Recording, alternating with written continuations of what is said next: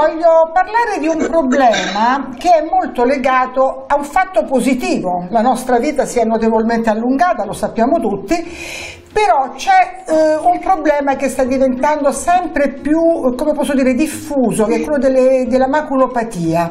E tra l'altro il motivo per cui oggi ho voluto trattare questo tema è che eh, le cure che sono fondamentali e che non vanno assolutamente trascurate, purtroppo con il Covid sono state dimenticate o comunque trascurate per paura di andare in uno studio medico.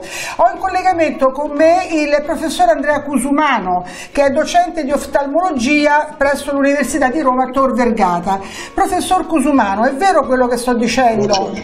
Purtroppo sì, la maculopatia, specialmente nella forma essudativa, deve essere trattata con continuità con delle iniezioni intravitreali. Purtroppo la presenza del Covid ha allontanato i pazienti sia per paura, sia perché molte strutture sono diventate ospedali Covid e hanno chiuso le sale operatorie. Quindi abbiamo un problema doppio. E che succede adesso? Adesso abbiamo ripreso in parte l'attività, abbiamo, dobbiamo smaltire molto lavoro, ma ehm, purtroppo ricordiamoci che i pazienti, specialmente nel primo lockdown, sono stati veramente terrorizzati a casa.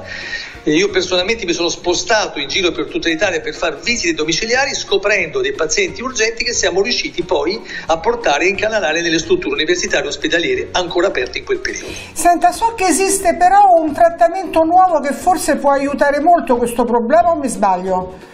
È vero, da qualche anno abbiamo a disposizione un laser a nanosecondi che è stato dimostrato con studi randomizzati doppio cieco che può ridurre la progressione della forma atrofica. La forma atrofica fino ad oggi veniva osservata, mentre veniva osservata, veniva trattata quella essudativa.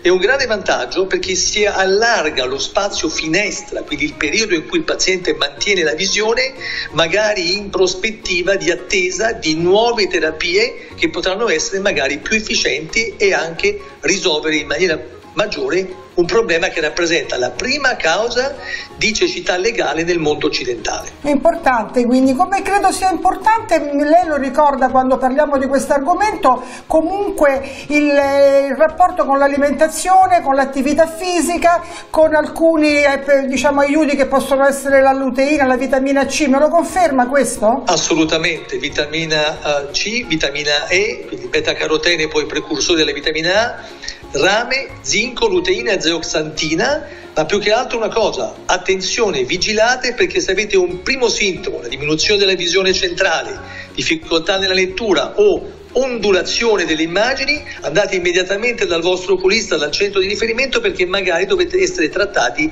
immediatamente. È un po' come con l'infarto. Se abbiamo un problema e lo trattiamo subito, riusciamo a salvare il paziente e in questo caso riusciamo a salvare la vista e a migliorare la qualità di vita del paziente. Grazie, grazie infinite professor Cusumano, come sempre questi sono, eh, no, come posso dire, indizi molto molto importanti da seguire. Grazie ancora al professor Cusumano. Grazie dell'ospitalità.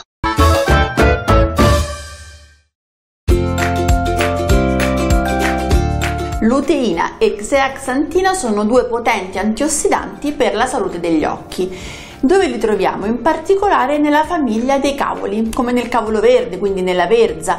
Come possiamo utilizzarli in cucina? Perché è importante consumarli crudi e allora vi propongo un'insalatina di verza molto gustosa e appunto alleata della salute degli occhi. Tagliamo la verza a striscioline sottili sottili, la sciacquiamo bene e la mettiamo da parte. A parte in un pentolino facciamo scaldare, solo scaldare senza portare a bollore mi raccomando, giusto per un pochino di olio extravergine d'oliva con un cucchiaio di aceto e due acciughine che con il calore appunto rilasceranno tutto il loro sapore, il loro profumo.